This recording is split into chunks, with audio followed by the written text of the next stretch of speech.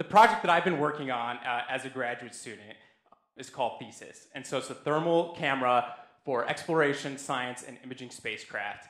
And it's an instrument that we're gonna fly on a mission called PROX-1.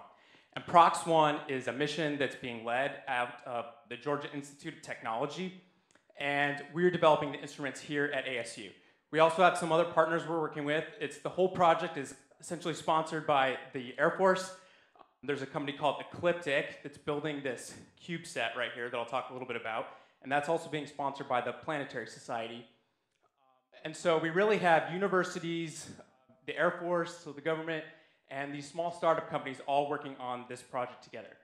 But I kind of put it, you saw probably in my, in my title, the three words that I'll talk about are the inspiration, the investigation, and the, and the implementation about how to make a project like this possible.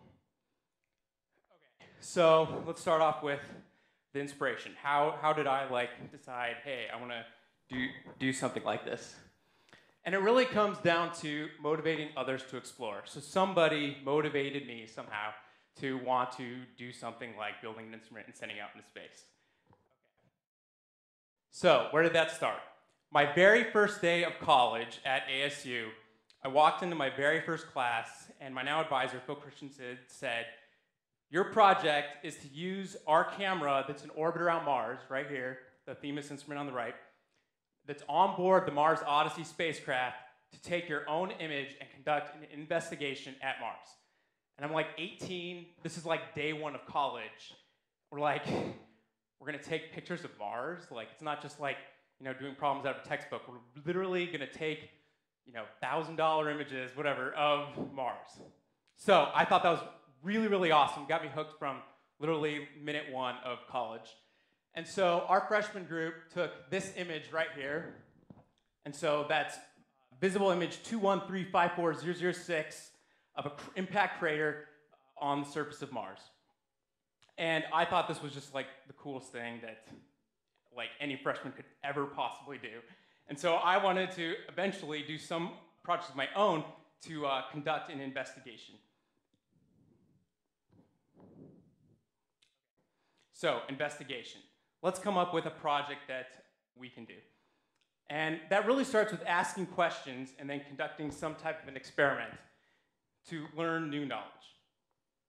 So the investigation that was provided to us was to work on this mission called PROX-1. And it really, there's two kind of elements to this project.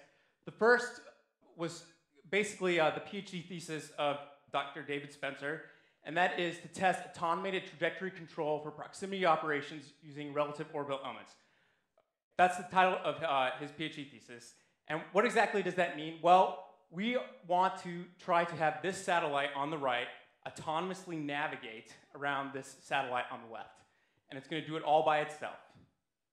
And so we at ASU are building the instruments that are going to sense this CubeSat in order to provide the input for the satellite to operate. And so the other partnership of this, again, is working with my advisor, Phil Christensen, in order to determine the performance of these microbolometer arrays in high radiation environments. And so it's really a partnership between multiple institutions in order to test the navigation of this satellite and to try and work on characterizing the performance of these uh, microbolometer arrays. We started this several years ago in order to provide new technologies for future missions. So, what are the three goals of this project? What are we really trying to investigate? The first one, again, as I've kind of stated a couple times now, is to demonstrate the proximity operations. So this is a, uh, an image that Georgia Tech Institute of Technology has put together, and it's showing our satellite basically rendezvousing around the smaller CubeSat in the bottom right. The prototype that we made for the 2012 competition finals is shown in the bottom left. So we have this infrared camera and a visible camera, and we were able to take these images shown in the bottom right. So has anybody ever seen an infrared camera before? Infrared image? Maybe one, couple? Okay, so basically we're looking at temperature. And it's really, really cool because we're so used to seeing things in the visible light, right? All the, all the light you're seeing, the photons that are hitting your eyes, that are bouncing off of me coming from the lights, that's all in the visible. but in infrared, we can see temperature. So all of us in here are essentially like little mini suns or light bulbs in the infrared. And if we had this camera scanning around, you could just, you'd all be glowing. If, if you got up out of your seat and you walked away, we could see the outline of your body still in the infrared. It's, it's kind of a little weird. So every time you sit in a seat after everyone, you know, you're in someone else's like thermal butt print or whatever. It's kind of weird. It's kind of. anyway, so the first, again, first goal that we are trying to do with Thesis, our instrument, is to help Prox1 do these proximity operations. The second goal that we want to do is to help verify the deployment of LightSail B.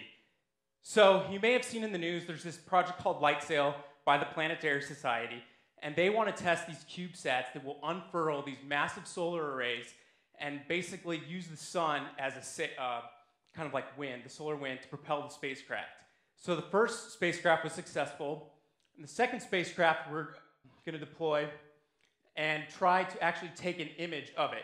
So this is an image that NASA put together. You know, it, it's kind of photoshopped, but the real image right here is what we're going to hopefully try to take. So if it works, we'll have this image for real. Okay, and the third thing is to conduct Earth remote sensing. So if everything goes right, I would really like to take some images of the Earth in infrared to try and investigate some of these really interesting scientific problems. We want to look at the Gulf Stream. How is it changing? Glacier monitoring. You know, we know climate change is happening, and can we help to make some measurements of how the ice is melting? Do geology mapping, doing feature identification of objects. I mean, today, you know, we, we know that in the news a lot, some of these airplanes are disappearing, and I really think that there's no reason why, with the technology we have, that this should ever happen again. Urban heat island mapping. As our cities are growing out, how are we changing the, the uh, local environments, uh, thermal environments? And of course, deforestation mapping. So there's lots of different scientific applications that we can get students to work on uh, at universities with these type of instruments. So the implementation. Basically, how do we make this happen?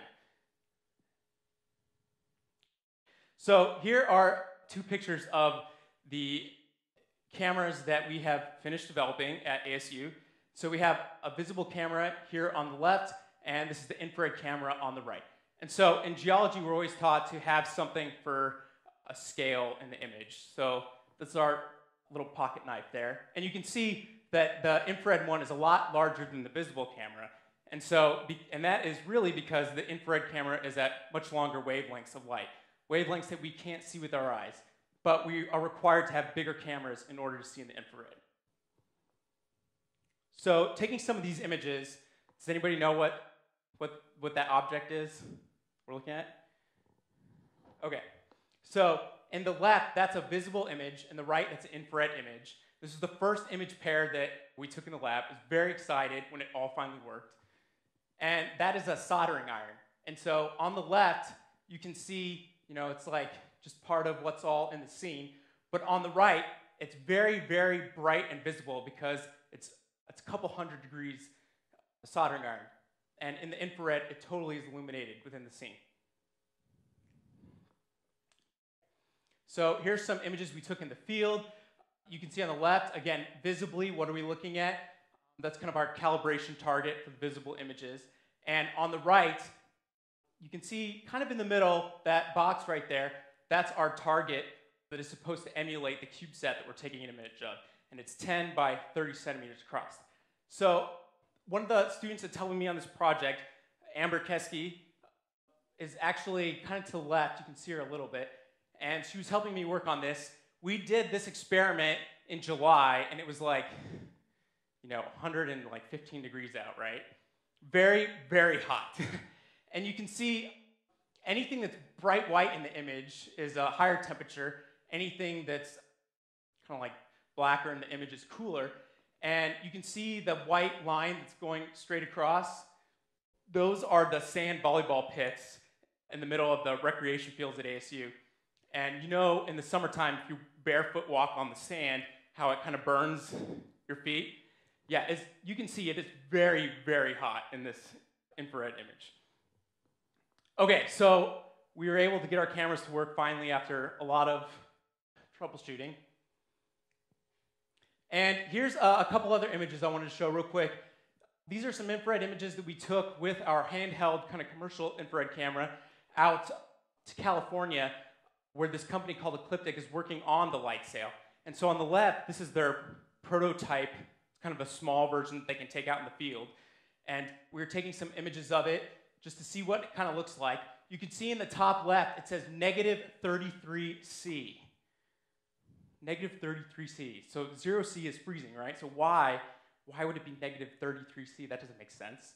Well, it turns out that uh, in the infrared, this, these mylar solar panels are almost like mirrors. We can't really see the temperature of them directly. And so we are basically just imaging space. And so the, the coldness of space very, very, very cold, is uh, essentially what we're looking at in that image.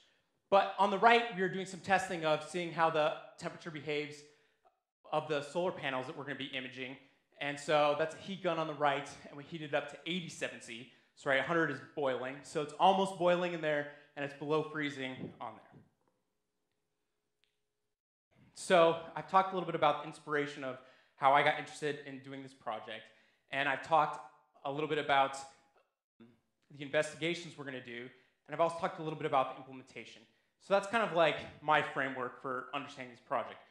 But the element that kind of, the thread that binds it all together that I want to mention real quickly is really the people that make it all happen. The people are the most important part of this project. And so, just to show a few snapshots of getting to work with some of the, my peers on this project, it's been really, really fun to work with the Georgia Tech students across the country. So this is Kyle Scott on the left, and he's the lead structural engineer. So his job is to make the, the satellite. How does it all work? So over the entire summer, we're going back and forth on the designs, the CAD files, and then getting to go out there, bring the instruments out, and the bolt holes line up, it fits, it works. It's just, it's a really, really remarkable experience to, to get to work on something very hard with people and just to see it all kind of finally come together and work. In the right, you can see Jack Bush in the, on the far, far right. So he's in charge of the power systems, so making sure that the instruments get powered up. And I'm in the middle with the instruments, and Lewis is on uh, the left there, and he's working on all the computer software. And so getting to, again, work across the country on this code and get it all to work and actually see the computers talking together, it's, it's really a remarkable experience. So getting to work with motivated peers is one part of it, and kind of keeping in theme with this event, the other half is getting to work getting to work with very experienced mentors that are willing to share their insights and knowledge. And so these are the um, mentors that I have uh, been working with at ASU. My advisor, Phil Christensen, Bill O'Donnell, Greg Mehall, Sada Anwar, and Dan Pelham. And these guys are really the best in the business at building infrared instruments that go to other planets. And you can see OTES in the middle. That's an instrument that's going to be going to uh, uh, an asteroid in the next few years. And so, really getting to learn from some of the best and work with peers, that, that kind of parallel process, I think is very, very exciting. So, my suggestion to all of you, if you want to, you know, do some really cool investigation and implement it somehow, and then kind of come full circle after you're inspired, inspire others, is to really find amongst yourself some really dedicated peers and get make some fun project happen. All right, thank you very much.